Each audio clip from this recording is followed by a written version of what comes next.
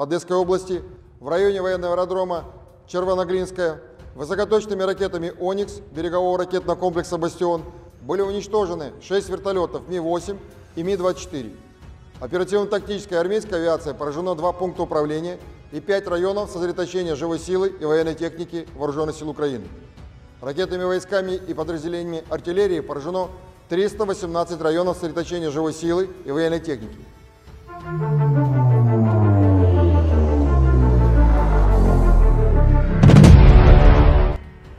Serangan roket dari tank tempur Rusia menghancurkan 318 area konsentrasi peralatan militer Ukraina dan menyebabkan 400 tentaranya gugur di lokasi.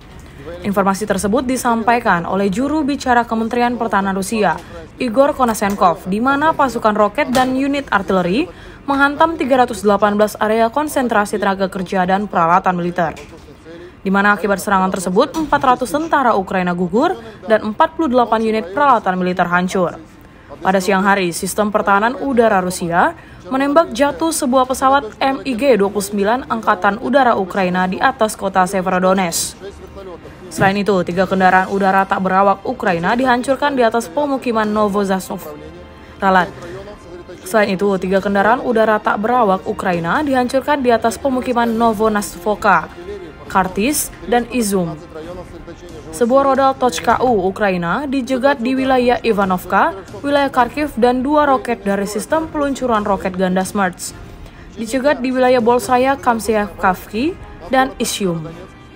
Secara total, sejak awal operasi militer khusus, yang berikut ini telah dihancurkan 162 pesawat, 124 helikopter, 790 kendaraan udara tak berawak, 299 sistem rudal anti pesawat, 2.967 tank dan kendaraan tempur lapis baja lainnya, 347 instalasi peluncuran ganda sistem roket, 1.432 artileri lapangan dan senjata mortir, serta 2.778 unit kendaraan militer khusus.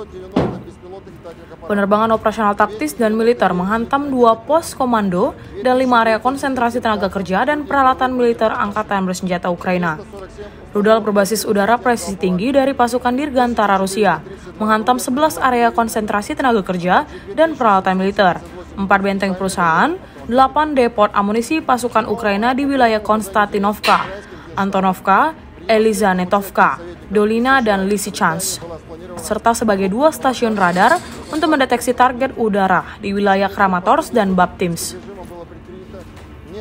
Itu terus berita menarik lainnya, jangan lupa like dan share seluruh akun Tribun Medan. имеющие важное значение для обеспечения контроля северо-западной части акватории Черного моря. В результате грамотных действий, находящихся на острове подразделения российских вооруженных сил, украинская провокация была сорвана. Противник понес большие потери. За период отражения атак в районе Змеиного были сбиты в воздухе 4 украинских самолета, в том числе 3 Су-24 и 1 Су-27, 3 вертолета Ми-8 с десантом на борту, один вертолет Ми-24. В течение двух суток сбито в воздухе 29 украинских беспилотных летательных аппаратов, в том числе 8 ударных Байрактар ТВ-2. При этом 4 беспилотных летательных аппарата Байрактар сбиты сегодня днем. Также при попытке высадки десанта в ночь на 8 мая были уничтожены три бронированных украинских десантно-штурмовых катера проекта 58-181 «Кентавр» с военнослужащими ВМС Украины.